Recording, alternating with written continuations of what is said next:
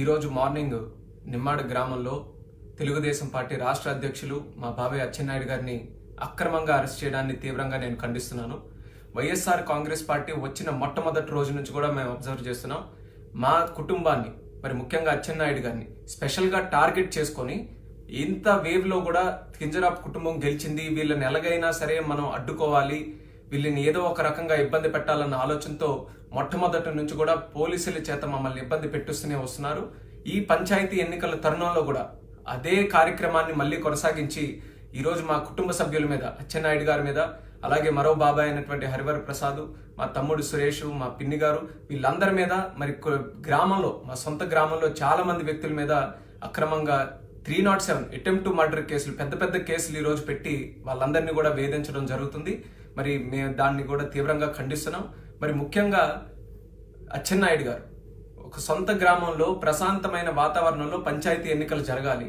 రేపు భవిష్యత్తులో అందరికీ కూడా అనుకూలంగా ఉండేటటువంటి పంచాయతీ వ్యవస్థ గ్రామంలో ఏర్పడాలని అందరి సభ్యులతో కూడా మాట్లాడి అందరికీ కూడా ఒక తాటి మీదకి తీసుకొని రావాలని చక్కగా గౌరవంగా మర్యాదపూర్వకంగా మరి ఎటువంటి ఒత్తిడి లేకుండా ఒక పెద్ద మనిషి ఏ తరహాలోనైతే ఒక పంచాయతీలో ఉన్న వ్యక్తులు మాట్లాడుకుంటారో ఆ తరలా అదే రకంగా మాట్లాడి మరి అందరినీ కూడా కలుపుకొని వెళ్దామని చూస్తే దాన్ని ఒక కారణంగా తీసుకొని అచ్చెన్నాయుడు గారిని కూడా ఇంక్లూడ్ చేసి చేయడం అనేది ఇంతకంటే దారుణం. అంటే పోలీసులు నిద్రపోతున్నారా? లేకపోతే వైఎస్ఆర్ పార్టీ వాళ్ళకి భజన చేస్తూ పనిచేస్తున్నారన్న దానికి మరొక ఉదాహరణ లేదు. ఎందుకనంటే అక్కడ కేసు పెట్టడానికి కానీ కేసు ఏదైనా ఎస్టాబ్లిష్ చేయడానికి కానీ ఎటువంటి సంఘటనలు కూడా కానీ ఇన్ కేస్ కేసే పెట్టాలనంటే మరి అక్కడ టెక్కలిలో వైఎస్ఆర్ పార్టీకి ఇన్ఛార్జిగా ఉన్నటువంటి వ్యక్తి నిమ్మాడ గ్రామం ఏ రకంగా వచ్చారు? కత్తులతో రాడ్డులతో. ఆయనే స్వయంగా చెప్పిన వీడియోలు కూడా ఈరోజు బయటకు వచ్చాయి. మీరందరూ కూడా రండి. ఇంటింటికి వెళ్దాం కొడదాం. ఏ రకంగా ఇచ్చేద్దాం అనే విషయాన్ని ఒక వీడియో కూడా రిలీజ్ చేసి ప్రతి ఒక్కరిని కూడా ఉద్వేగపరిచి అందరితో కూడా రాడ్డులు తీసుకొని ఒక మార్చింగ్ విధంగా ఈరోజు నిమ్మాడ గ్రామం వస్తే పోలీసులకి అది కనబడలేదా? పోలీసులకి చేత కాదు అటువంటి వ్యక్తుల మీద మీరు యాక్షన్ తీసుకోవడానికి రాజ్యాంగంలో కానీ చట్టపరంగా కానీ రాడ్డులు తీసుకొని ఎవరిని నరికేద్దాం చంపేద్దాం ఎవడు ఎదురొస్తాడో చూస్తామని బూతులు మాట్లాడుతూ పది మందిని తీసుకొని వెళ్ళి ఒక గ్రామానికి వెళ్తే ఏం చేస్తున్నారు దద్దమ్మ పోలీసులను నేను అడుగుతున్నాను. వాళ్ళ మీద మీరు చర్యలు తీసుకోవడానికి మీకు చేతులు రావు కానీ అందరినీ కూడా కలుపుకొని పంచాయతీని ఏకతాటిగా ముందుకు తీసుకొని వెళ్తామనంటే అచ్చెన్నాయుడు గారి మీద మా కుటుంబం మీద కేసులు పెట్టడానికి ఈరోజు మీరు ముందుకు వస్తున్నారు అంటే మేము భయపడిపోవాలి. మేము భయపడితే మా కార్యకర్తలు భయపడాలి. మా కార్యకర్తలు భయపడితే మా పంచాయతీల్లో మాకు ఓట్లు వేసేటటువంటి వ్యక్తులు భయపడాలి. ఇది మీరు చేస్తున్నటువంటి రాజకీయం. అందుకనే మీరు మొట్టమొదటి నుంచి కూడా పంచాయతీ ఎన్నికలు వస్తాయనంటే భయపడుతూ దాన్ని ఎలా అడ్డుకోవాలని సుప్రీంకోర్టు వరకు కూడా వెళ్ళి మొట్టికాయలు వేయించుకున్నారు.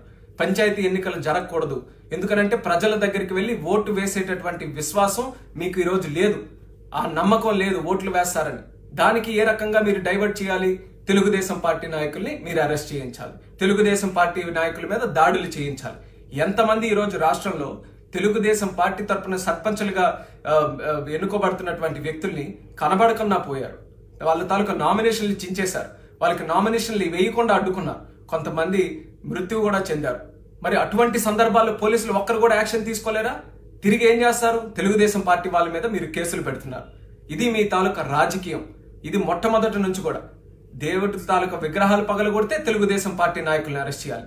మీరు అవినీతి చేస్తున్నారయ్యా ల్యాండ్లో శాండ్లో వైన్లో మరి అలాగే అన్ని విషయాల్లో కూడా మీరు మాఫియాను పెంచుతున్నారు అవినీతి చేస్తున్నారు అక్రమాలు పెరుగుతున్నాయనంటే మళ్ళీ తిరిగి తెలుగుదేశం పార్టీ వాళ్ళని అరెస్ట్ చేయాలి. మీకు తెలిసింది కేవలం కడప ఫ్యాక్షన్ రాజకీయాలు. రాజారెడ్డి గారి రాజ్యాంగాన్ని మీరు అమలు చేసి ప్రతిపక్షాన్ని తొక్కివేయాలని ఏ ఇష్యూ వచ్చినా సరే ఇష్యూ మీద పోరాటం చేయకుండా ప్రజలకి మంచి చేయకుండా తెలుగుదేశం పార్టీ వాళ్ళ మీద తిరగబడుతున్నారు. మీరు భయపడతారని ఈ కార్యక్రమాలన్నీ చేస్తే మీకు మళ్ళీ హెచ్చరిస్తున్నాను. తెలుగుదేశం పార్టీ భయపడే పార్టీ కాదు. మేం పదింతలు బలంగా మేము ముందుకు నడుస్తాం తప్పితే వెనకడుగు వేసే ప్రసక్తే లేదు. అందుకనే మా నాయకులకి కార్యకర్తలకి ముఖ్యంగా పంచాయతీల్లో పోటీ చేసే తెలుగుదేశం పార్టీ వాళ్ళందరికీ కూడా నేను తెలియజేసుకుంటున్నాను. ఎవ్వరు కూడా భయపడద్దు. మీ పంచాయతీలో బలంగా ఈరోజు పోటీకి నిలబడి మీ వార్డు మెంబర్లతో సహా ఇంటింటికి కూడా తిరిగి YSR Congress party Jaganmohan Reddy గారు వీళ్ళు చేస్తున్నటువంటి అక్రమాలు ఏవైతే ఉన్నాయో ప్రజలకి చెప్పండి. ఇల్లు పట్టాల దగ్గర నుంచి శాండ్ దగ్గర నుంచి అమ్మఒడి దగ్గర నుంచి నాడు నేడు కార్యక్రమం దగ్గర నుంచి ఏ పథకం ఈ రోజు అమలు చేసినా సరే వాళ్ళ డబ్బులు సంపాదించుకోవడానికి వాళ్ళ ఖజానా నింపుకోవడానికి వైఎస్ఆర్ కాంగ్రెస్ పార్టీ నాయకులు అవినీతి సొమ్ము చేసుకోవడానికి ఈ పథకాలన్నీ తప్పితే పేదవాడికి ఒక్కటి కూడా మంచి చేసే పని ఈ రోజు వరకు కూడా ఈ ఆంధ్రప్రదేశ్ రాష్ట్రంలో జరగలేదు. అంతేకాకుండా మరొక విషయం నేను చెప్పాల్సింది నిమ్మాడ గ్రామానికి ఈ రోజు విజయసాయి రెడ్డి గారు వస్తున్నారు. నేను అడుగుతున్నా ఏం పనిగా నీకు విజయసాయిరెడ్డి గారికి? నిమ్మాడ రావడానికి ఏం పని? పార్లమెంట్ సమావేశాలు జరుగుతున్నాయి. నిన్ననే బడ్జెట్ సమావేశాలు ప్రవేశపెట్టారు. బడ్జెట్లో ఆంధ్రప్రదేశ్ రాష్ట్రానికి ఒక్క పైసా కూడా మీరు సాధించలేకపోయారు. ఏది గట్టిగా అడగలేకపోయారు.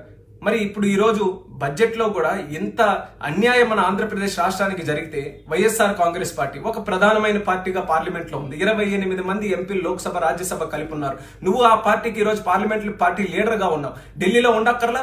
ఢిల్లీలో పోరాడక్కర్లా బడ్జెట్లో మా ఆంధ్రప్రదేశ్ రాష్ట్రానికి అన్యాయం జరిగిందని ఐదు కోట్ల మంది ప్రజల తరపున ఢిల్లీలో కూర్చొని వాడగాల్సినటువంటి అవసరం లేదా అని విజయసాయిరెడ్డి గారికి నేను అడుగుతున్నా. కానీ నీకు పార్లమెంట్లో అడిగే దమ్ము లేదు.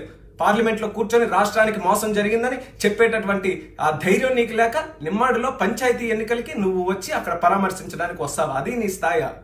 పంచాయతీ ఎన్నికల కోసం నువ్వు ఉన్నావా? లేకపోతే పార్లమెంటులో ఐదు కోట్ల మంది రిప్రజెంట్ చేసుకోవడానికి నువ్వు ఉన్నావా అనేది విజయసాయి రెడ్డి గారికి నేను నిలదీసి అడుగుతున్నాను. ఎందుకనంటే అది అచ్చెన్నాయుడు గారి తాలూకు గ్రామం.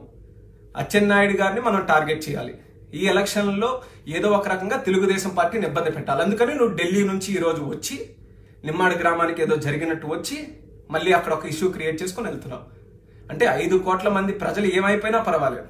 ఐదు కోట్ల మంది ప్రజలకి పైసా రాకపోయినా బడ్జెట్ నుంచి నీకేమీ పర్వాలేదు. పార్లమెంట్లో అయినా నువ్వు ఎగ్గొడతావు.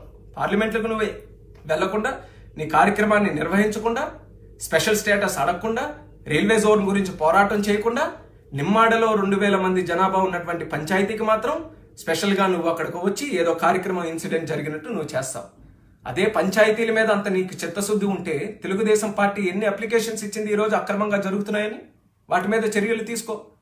నువ్వు గట్టిగా చెప్పు ఎక్కడైనా సరే ఎవరైనా సరే పంచాయతీ ఎన్నికల్లో పోటీ చేసిన వాళ్ళకి ఇబ్బంది జరిగితే మా ప్రభుత్వం వాళ్ళకి అండగా ఉండి దగ్గరుండి నామినేషన్లు వేయిస్తుంది. వాళ్ళకి ప్రొటెక్షన్ చక్కగా మేము అందిస్తామని చెప్పలేదా? చెప్పలేకపోయావా నువ్వు? దానికి మాత్రం నీకు మాత్రం ఇది రాదు నోరు రాదు. కానీ నిమ్మాడ గ్రామం మాత్రం ఈరోజు వచ్చి ఎందుకండి ఈ రాజకీయాలు మీకు అన్నిటి కూడా? అంటే ఈరోజు మీరు ధైర్యంగా ఉండి ప్రజల దగ్గరికి వెళ్ళి ఓట్లు వేసేటటువంటి దమ్ము మీకుంటే ఈ కార్యక్రమాలు చేయాల్సినటువంటి అవసరం లేదు. మీరు మీ క్యాండిడేట్స్ గ్రామాల్లో చక్కగా తిరుగుతూ ఉండేవారు. ప్రజల దగ్గరికి వెళ్ళి పంతొమ్మిది నెలలు మీ పరిపాలన వివరించుకొని మాకిందుకు ఓట్లు వేయండి అని చెప్పేటటువంటి అవకాశం ఉండేది. కానీ ఏం చేశారు? పంతొమ్మిది నెలల్లో జగన్మోహన్ రెడ్డి గారు జైలుకు వెళ్ళకుండా ఏ రకంగా కాపాడాలి? ఆయన కేసుల్ని ఏ రకంగా మనం మాఫీ చేసుకోవాలి? ఈడీకి సిబిఐకి అన్ని కేసులు ఒక దగ్గరికే తీసుకొని వచ్చి దాని గురించి మనం ఏ రకంగా కోర్టుల్ని మబ్బి చేసి జడ్జిల్ని మబ్బి చేసి ఏ రకంగా చేయాలన్న ప్రయత్నాలు మీరు చేసుకోవాలి. ఢిల్లీలో స్పెషల్ స్టేటస్ ఇవన్నీ పక్కన పెట్టి మీ తాలూకా లాబింగ్ నడిపించుకోవాలి. వీటికి మాత్రం పంతొమ్మిది నెలలు మీరు చేసుకున్నారు.